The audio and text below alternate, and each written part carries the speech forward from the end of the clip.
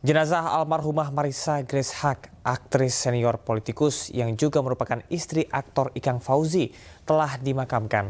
Almarhumah dimakamkan di tempat pemakaman umum Tanah Kusir, Jakarta Selatan.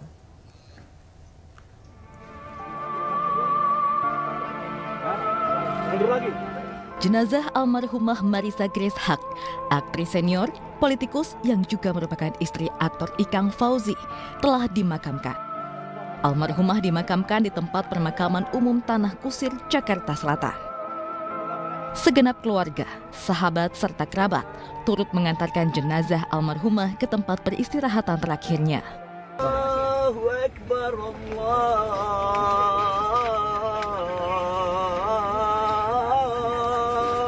Akbar. Ashhadu an la ilaha illallah.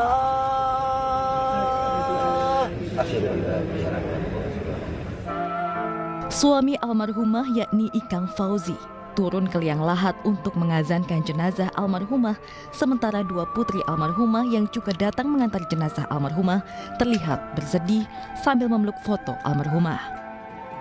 Usai proses pemakaman, Ikang Fauzi menyampaikan ucapan terima kasihnya kepada seluruh pelayat yang ikut menyaksikan proses pemakaman jenazah almarhumah.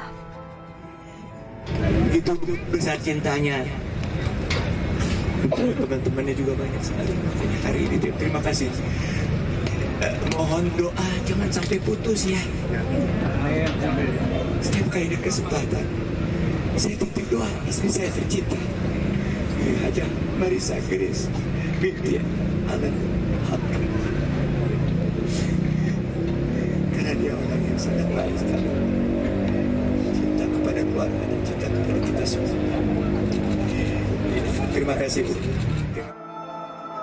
Meski kepergian almarhumah mendadak, namun seluruh keluarga mengikhlaskan ketetapan yang sudah digariskan Yang Maha Kuasa.